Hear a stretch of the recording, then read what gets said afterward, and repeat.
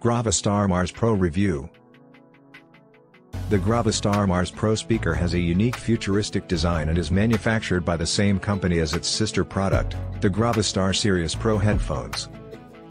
It comes without any extra features but offers good sound quality with a strong emphasis on bass. However, this is one device that you might want to consider if you're a big fan of futuristic cyberpunk design. Even though the aesthetics could be perfect for you, this device is worth considering because of its solid construction and impressive sound quality, but the price might turn you off. The first thing you'll see about this voice is how it sounds. It doesn't sound like any other voice heard before. It's not robotic, nor does it sound human. It's unique, and it's definitely worth listening to.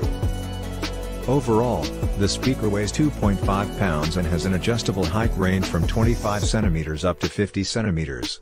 It comes with a tripod base for stability. The metal rear of this speaker has a mesh design which is accentuated by the RGB lights.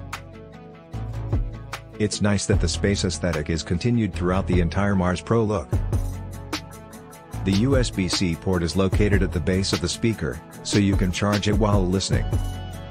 It has a good look, but some people really don't like his appearance.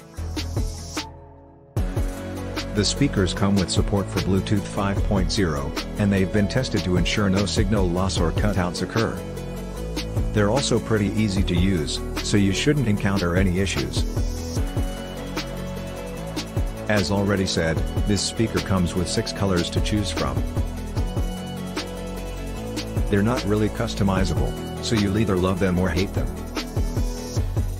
Personally, they add a lot to the aesthetics of the device, but if you'd rather just stick with black, white, silver, gold, or copper, then you can do that too.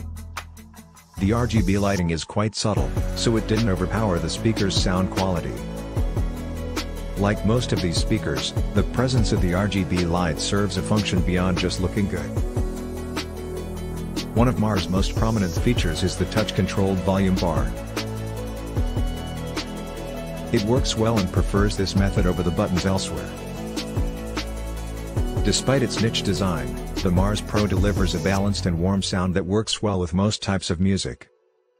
However, if you play too loud, some songs may start to sound muddy.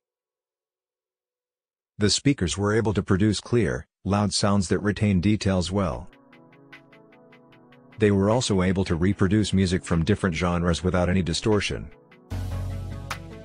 The first part of the song and the lyrics were really well done, but the singer did sound a bit harsh when singing the softer notes.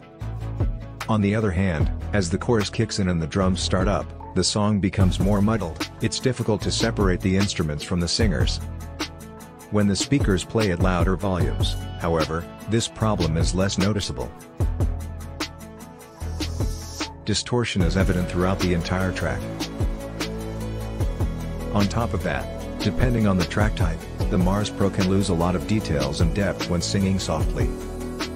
However, this was not noticeable in tracks with softer vocals, such as Flowers on the Freeway by Cody Lervis. With Lervis' song, the Mars Pro delivered a better sound stage than the previous version, which was distinct but lacked warmth. It sounded warmer and more dynamic.